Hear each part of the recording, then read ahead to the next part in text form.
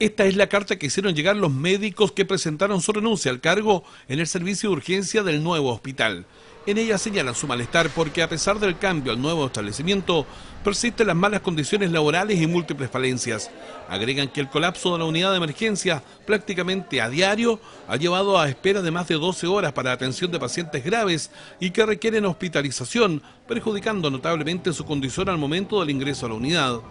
Cabe señalar que la dirección del nuevo hospital indicó que se está trabajando por superar estos problemas y que para descongestionar esa unidad se inició una campaña a objeto de informar a la comunidad sobre cuándo ir o no a urgencia al nuevo hospital.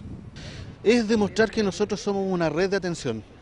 que los responsables de la atención de la salud de la comuna de Puerto Montt es eh, la Dirección de Servicios de Salud, la Ceremi, la DISAM y el Hospital de Puerto Montt, y que la diferencia está en los niveles de complejidad el hospital va a responder sin duda a los pacientes que tienen mayores demandas por atenciones más complejas,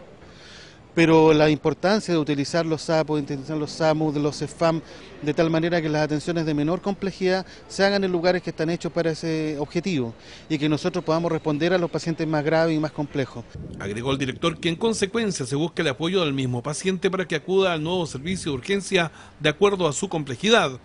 Se estima que un 40% de los pacientes que llegan al servicio de urgencia no debieran acudir a ese sitio. Sin embargo, agregó, no se les puede cerrar la puerta.